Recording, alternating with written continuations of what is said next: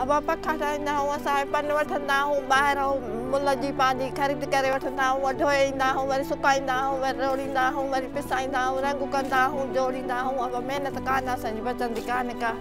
खफो इलाही अथसि बचति कान्हे का असां ग़रीब माण्हू पोइ छा कयूं ग़रीब घर में वेही नियाणियुनि सां कंदा आहियूं इहो कमु पंहिंजी रोज़ी टीह में असां वीह पंखा ठाहींदा आहियूं असांजी ॿ अढाई सौ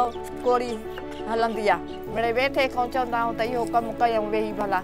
जेके से थींदो हिन में बि महिनत घणी आहे हिकु ॼणनि जी बात न आहे का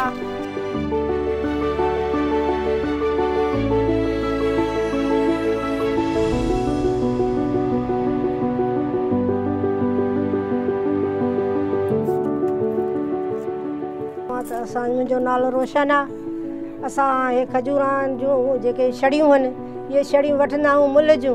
मुल जूं वठी ईंदा आहियूं पोइ असां उन्हनि खे सुकाईंदा ऐं सुकाए पोइ हीअं रड़ींदा आहियूं रड़े रड़े ढिक करे उहो पाणी में पिसाईंदा पिसाए उन्हनि खे विचां चीर ॾींदा आहियूं विचां चीर ॾेई असां अहिड़ी हीअं बणाईंदा आहियूं अहिड़ी बणाए वरी असां पेरनि में रखंदा ऐं हथनि सां ठाहींदा आहियूं हथनि सां ठाहे करे वरी बाहि ते रंग कंदासीं